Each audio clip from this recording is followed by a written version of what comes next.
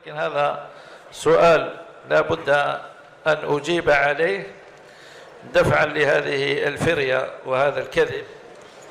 يقول السائل كنتم قد ألقيتم محاضرة منذ سنوات في جامعة سطيف. إذ هناك أخ يقول بأنه طرح عليكم سؤال هل الجزائر بلد مسلم؟ فأجبتم بلا. وأن الجزائر بلد خليط كما يدعي أن لديه شاهد على إجابتكم ومستعد لمقابلتكم. نرجو من فضيلتكم الرد. طيب هذا المدعي والشاهد. مرحبا بهم. عندي عندي نغديهم ونعشيهم ونبيتهم.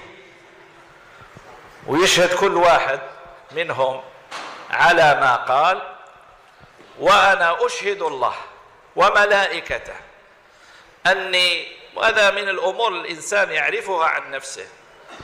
وما ليش نقول هذا دفاعا عن نفسي.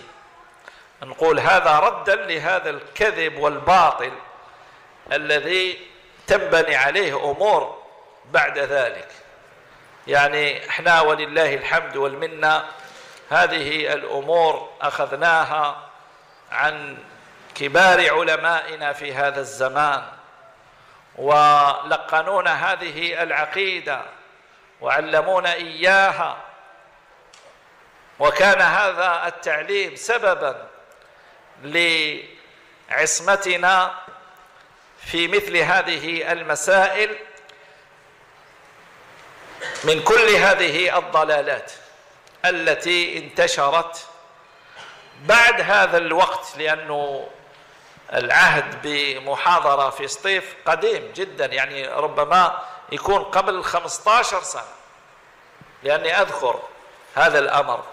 واحد الوقت الطائفية كانوا ناشطين في هذا الباب.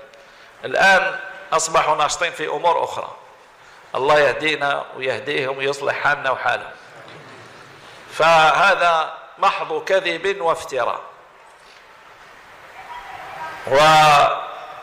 وليس من عقيدة أهل السنة مثل هذا أننا نكفر أو أننا ندعي أن البلد الإسلامي الذي نعيش تحت سمائه ونطأ أرضه ونصلي في مساجده ونجتمع مع أهله على الخير وعلى العبادة وعلى الصلاح ندعي أنه بلد خليط. خليط بماذا يا عدو نفسه؟ خليط بماذا؟ عندنا اليهود والنصارى وعندنا الحمد لله نعتقد الاعتقاد الجازم أننا في البلد المسلم الذي تقام فيه شعائر الدين. والذي يعبد فيه المسلم الجزائري ربه تبارك وتعالى وهو مرفوع الرأس. لا يجد من يمنعه ولا من يضطهده ولله الحمد والمنة.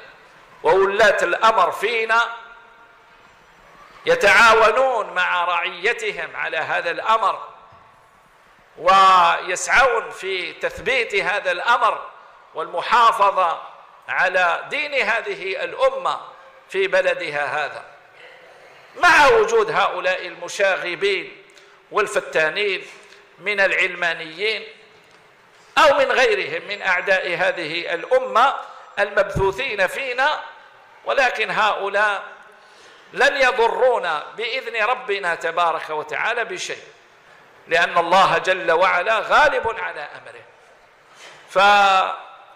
فنسأل الله عز وجل أن يهدي هؤلاء. وأنا كما قلت أعيد هذا الأخ السائل يكلم هذا الدعي المفتري لأني أجزم أنه مفتري إذا ادعى أنه سمع. ممكن آه، شافني في المنام في رؤيا. يجيوني بزاف اخوه يقول لي شفتك في المنام. واحد يقول لي اعتمرت معك واحد حجيت معك واحد سمعتك تدرس واحد سمعتك تتضارب. فهذا إذا في المنام الله أعلم. قد يكون قد يكون آه، في المنام الشيطان تمثل به وقال له كذا وكذا. أما في اليقظة يأتينا معليش. ويجيب الشاهد معاه وكل شيء عليه حتى التذكرة حب يجي في الطيارة نخلص له الطيارة. هيا يكون في حل ونطلب من الأخ اللي جاب السؤال يسمع له الصوتية.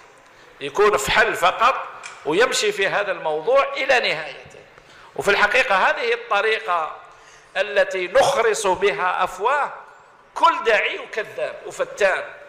يقول شيء يقول هاتوا برهانكم إن كنتم صادقين. أنا ما زلت حي ولله الحمد والمنة وراني موجود وما زلت بعقلي وضابط أموري ولله الحمد. يأتي هذا الرجل. نعم.